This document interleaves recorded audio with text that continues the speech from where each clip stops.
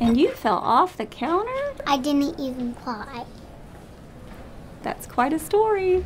But how about we not climb on the counters and we ask Daddy for help, okay? Whatever your story, a pediatrician will be here to listen and give your child the expert care they deserve. Children's Hospital Urgent Care. Open nights and weekends.